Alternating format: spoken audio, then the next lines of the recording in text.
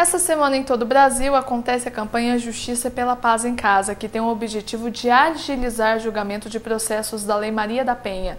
Segundo dados do Tribunal de Justiça de Minas Gerais, existem hoje em todo o estado 88 mil processos da Lei Maria da Penha. E para falar sobre essa campanha, eu recebo o nosso consultor, o advogado Dr. Daniel Delgado. Dr. Daniel, seja bem-vindo ao Entenda Direito. É um prazer sempre estar aqui com vocês e os telespectadores. Doutor Daniel, por que a necessidade de fazer uma campanha para agilizar esses processos da Lei Maria da Penha? O, o, o que ocorre hoje em dia é que o Poder Judiciário, além de estar faltando funcionário para gerir a máquina, fazer a máquina funcionar, está faltando juízes, estão faltando promotores, defensores públicos, estão faltando delegacias especializadas, principalmente no estado de Minas Gerais, que nós temos hoje em torno de 330 comarcas para atender 826 municípios. E muitas das comarcas nem delegacia tem. Então nós temos, às vezes, um delegado para atender quatro, cinco cidades. E não temos as, as delegacias especializadas para o atendimento da mulher. E muitas das vezes a mulher se sente constrangida em ir fazer uma queixa com o delegado que é do sexo masculino.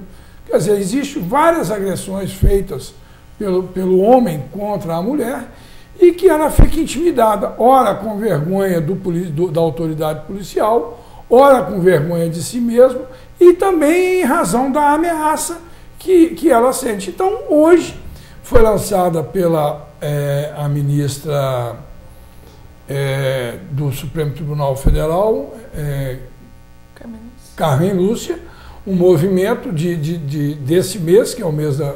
É, anteontem foi o dia da, da, da mulher, para que as mulheres é, é, denunciem os casos de agressões físicas, psicológicas e etc., que é a inovação da lei que foi sancionada pela, pela presidente Dilma agora no, no, em comemoração ao Dia da Mulher. Você falou a respeito dessa violência, que são várias violências. É, é, a gente pensa muito na violência física, mas quais são as violências que podem enquadrar nessa Lei Maria da Penha? Olha, existe a violência emocional, aquela que, que, que o homem submete a mulher a todo dia um, a um constrangimento, uma, uma, uma, uma violência emocional, tipo constantes ameaças, deixar que falte é, é, alimentos para ela e para os seus filhos.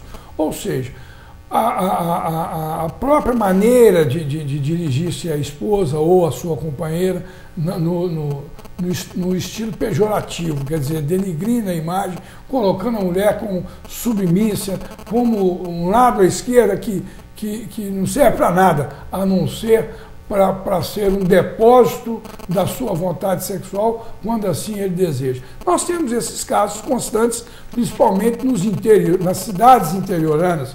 Quanto menos esclarecida e a cidade de pequeno porte, e a mulher que tem muito pouco contato com a imprensa, com, com, com, com o meio de telecomunicação, se sente ameaçada e submissa a, a, a esses, a esses desejos é, incalculáveis que o homem se sente como o, o, o majoral, que é o dono da verdade, é o supra-sumo, é o sobretudo poderoso. Bom, e como é que anda atualmente a Lei Maria da Penha? Houve mudanças no texto original dessa lei? Houve mudanças, houve várias mudanças e, e, e agora o crime ele toma uma proporção, principalmente é, quando a mulher estiver no período de gestação ou após a gravidez, se houver alguma violência emocional uma, uma violência física, ele passa a ser crime hediondo, a pena é majorada de 12 a 30 anos de reclusão. Agora, com a, né, essa nova, com a inovação, é, alguns casos não pode haver a transação penal, conduzir isso para a Lei 9.099. A renúncia da mulher no que diz respeito a denúncia de, uma, de, uma, de, um, um crime praticado pelo seu companheiro ou seu esposo só perante ao juiz de direito que estiver conduzindo esse processo. Doutor Daniel, o senhor falou até a, respeito dessa falta, talvez da morosidade da justiça, mas por um lado também não falta um, um, um há um despreparo por parte das autoridades policiais na hora de fazer esse atendimento? Não digo no caso da Polícia Civil, quando tem a delegada da, da mulher, mas por parte da Polícia Militar, que às vezes não entende que aquele caso é realmente um caso de violência doméstica e que precisa realmente intervir naquela, naquela situação? Olha, eu não considero despreparo da Polícia Militar, não. Principalmente, eu não tenho procuração para falar é, pela Polícia Militar Mineira mas a Polícia Militar Mineira, ao meu entendimento, e eu que advogo num raio de 300 a 400 quilômetros em Minas Gerais, tendo como base Guaxupé, a Polícia Militar Mineira é muito bem, bem preparada.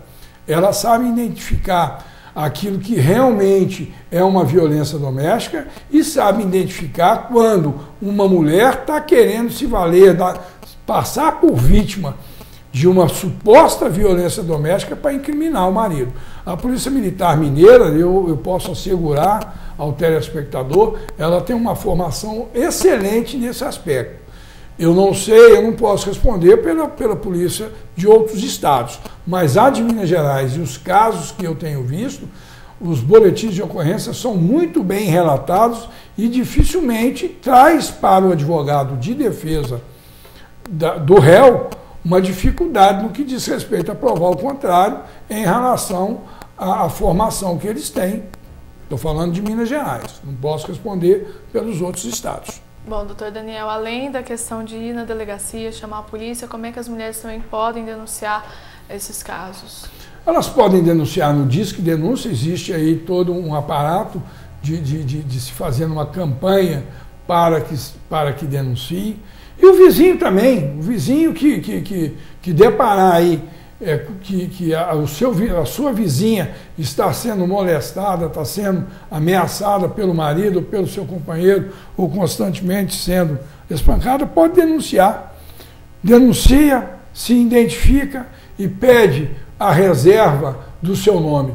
Hoje a autoridade policial ela pode se abster de dar informação da fonte que denunciou. Então, pode, fique tranquilo. Se o senhor tem uma vizinha que constantemente está apanhando do marido ou do seu companheiro e vê que essa senhora está sendo intimidada ela está sendo enfraquecida, a senhora pode recorrer aos meios judiciais, fazer a denúncia e pedir para que a sua identidade não seja é, é, identificada quando do levantamento do inquérito policial, que será formalizado pela autoridade policial. Reveja essa e outras entrevistas do Entenda Direito no nosso site tvsul.tv.br.